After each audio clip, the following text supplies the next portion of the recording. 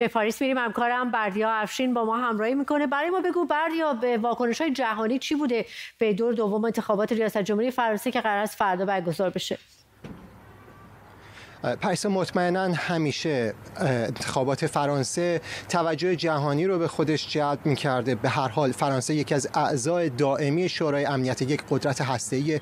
بزرگترین قدرت نظامی اروپا است و دومین اقتصاد بزرگ این قاره و نفوذ گسترده بین المللی داره. خب خصوصا بعد از حمله روسیه به اوکراین نقش جا نقش و جایگاه فرانسه در عرصه بین الملل بسیار بسیار اهمیت پیدا کرده و حالا این بار توجه ها بیشتر معطوفه به واسطه اینکه دو نامزدی که فردا با هم رقابت می‌کنند دو جایگاه بسیار متفاوتی رو در جهان برای این کشور متصورن. همه می‌دونن که امانوئل مکرون برای حفظ منافع ملی فرانسه فکر می‌کنه که این کشور می‌تونه در عرصه بین المللی به خصوص در اروپا جایگاهی قدرتمند داشته باشه. اما از سوی دیگه رقیب او خانم مارین لوپن تصور می‌کنه که بیشتر باید به مسائل داخلی فرانسه معطوف بود و این می‌تونه خیلی ها رو نگران کنه که باعث بشه که فرانسه به انزوا بره و یا حتی با مثلا کشورهای اقتدارگرای دیگه مثل مثلا لهستان مثل مجارستان و یا روسیه مثلا نزدیکی بکنه. برای همین همونجوری که خودت اشاره کردی به شکل بی سابقه ای شرکای فرانسه چون رهبران آلمان، اسپانیا و پرتغال هشدار دادن از پیروزی خانم لوپن و اون سوی اقیانوس اطلس هم شاهدیم. مثلا نخست وزیر کانادا جاستین ترودو گفته امانوئل مکرون انتخاب خوبی برای جهانه. با این حال همونجوری که باز هم خودت اشاره کردی نظرسنجی ها با وجود برتری که برای امانوئل مکرون قائلن برتری 10 تا 12 درصدی بعدش باید گفتش که میشه گفت انتخابات فردا قابل پیش بینی نیست. من اینجا همراه من بهداد ثابت آزاد فعال اجتماعی ساکن پاریس. حضور داره که از او بپرسن که چرا با وجود برتری امانوئل مکرون همچنان پیش بینی میشه که انتخابات خیلی خیلی نزدیک باشه و حتی غیر قابل پیش بینی باشه؟ بله با سپاس از شما.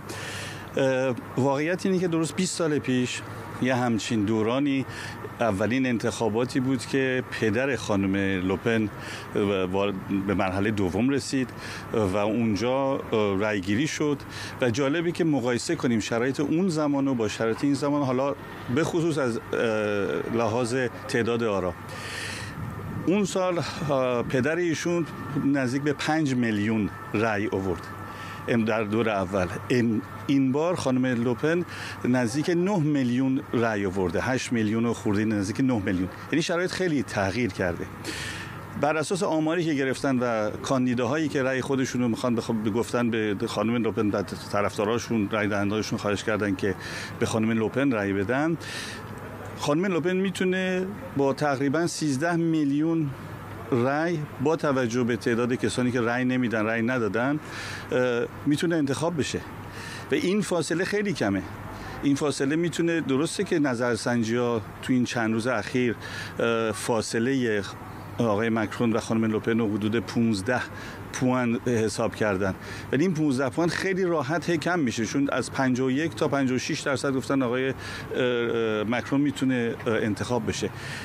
این فاصله خیلی کمه. فاصله اگه به تعداد آرا حسابش کنیم محاسبه کنیم خیلی کمتر از اینه و از میشه گفت احتمالش هست ولی قابل پیش بینی نیست و دغدغه این شهروندان فرانسه چیه؟ به خصوص اون کسایی که مرددن و ممکنه همین فاصله رو فاصله ای که بین مکرون و لوپن متصورن رو کم بکنن یا زیادتر بکنن. دغدغه اونها چیه که فرد پای صندوق ها بیان؟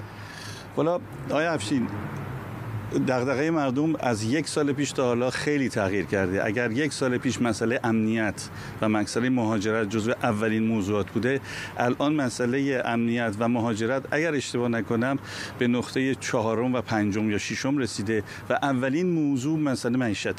چرا؟ چون تو این فاصله تورم اومده قیمت ها گرون شده مسئله جنگ بوده جنگی که در اوکراین تاثیر اقتصادی گذاشته و شرایط خیلی خاص کرده جالبه که این موضوع با 57 درصد در صورتی که بقیه 24 و 25 درصد. مسئله دوم مسئله درمانه. اینها همه تغییر می‌کنه تحول پیدا می‌کنه. بله. ممنونم. مهداد بهداد ثابت آزاد همراه من بود از فعالان اجتماعی در پاریس. به تو برمیگردیم پریسا و باز هم در بخش دیگه خبری بیشتر راجع به انتخابات در پیش روی ریاست جمهوری فرانسه صحبت خواهیم کرد. ممنون از تو. بردی افشین همکارم از پاریس با ما همراهی می‌کرد. همچنان ممنون از مهمانی که همراه بودم بهداد ثابت آزاد فعال اجتماعی